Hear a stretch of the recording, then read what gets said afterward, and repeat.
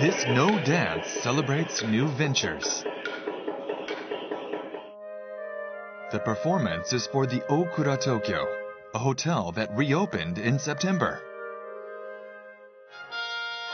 The revitalization of one of Japan's leading hotels attracted major attention. The Okura's general manager, Shinji Umehara, first began working at the hotel as a part-timer when he was a student. He started as a bellboy and now oversees everything. 募集体制といいますか、まあ、もうずっと大倉で40年ですからねこういうポジショニングで携われたっていうのは非常にラッキーだったというふうには思ってます。Umehara and everyone involved in the renovations focused especially on the lobby. It's a shared space that welcomes guests as well as the public.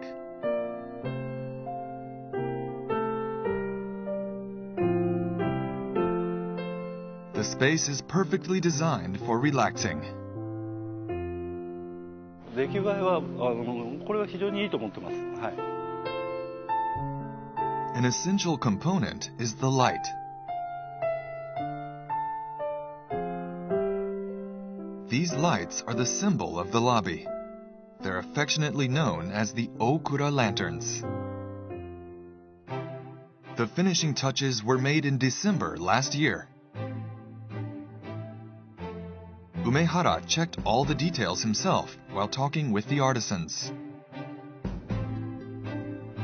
これ今100%。 100%です。 100%ね。まあ、40%ぐらいのっていうお話は聞きました。 The brightness of the lanterns can be finely tuned.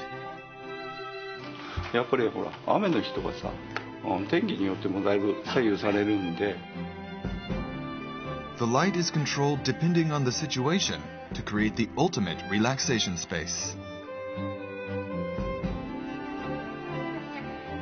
The lobby has also inherited an artistic legacy. The Okura opened in 1962. it was a time when Japan was achieving rapid economic growth and international exchange was flourishing. Aiming to welcome overseas guests with Japanese originality, the hotel was built with the concept of expressing Japanese culture. The symbol of this is the lobby full of traditional Japanese designs. The renovations aimed to revitalize this, centered on people's lasting impressions toward the lobby. Many of the people who loved the atmosphere of the Okura lobby admired its architecture that exemplifies Japanese modernism. For the renovations, Umehara and the others were determined to recreate the lobby.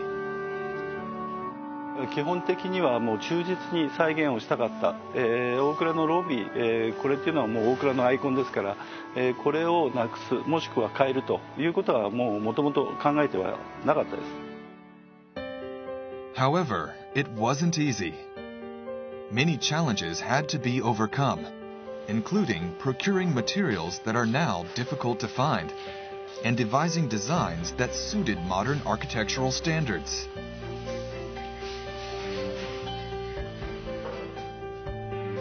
There also needed to be a reproduction of the lobby's kumiko woodwork and its intricate hemp leaf pattern.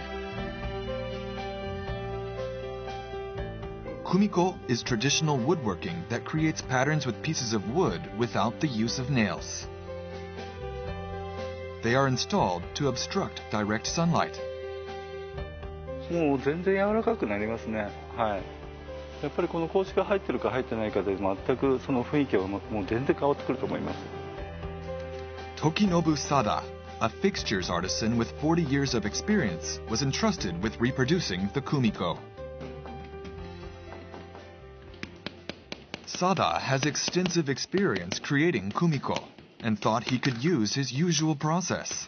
However, えー通常今まで何十年かやってきたことが、えー我々のいわゆる今まで持ってた常識いうのがなんかこう覆されたなと what surprised Sada was the design for interlocking triangles. They are usually the same height as the frame. When he looked at the kumiko in the lobby, he realized that inner pieces were 3 millimeters shorter. He thinks this helps prevent direct sunlight from shining in. It took Sada two years to complete this kumiko with an unusually complicated design, measuring down to one one thousandth of a millimeter. While working, Sada realized that the shape was created to be pleasing to the eye. Because the kumiko is designed to be located in a tall place, it is formed to be looked at from below. 下から見上げていきますとこの段がついてるとこが非常にこう立体感が出てくるんですね。通常の考えでいくとあの雰囲気出ないんですね。あこれがあの長きにわたって大倉のファンの人をあの見せつけてきたいうかね。あ大倉ロビーはこんな深い仕掛けがあったのかなとまあ本当にあのこれはやってみて初めて分かったことです The Okura lobby encapsulates omotenashi in every detail and is sure to hold a memorable place in people's hearts for years to come.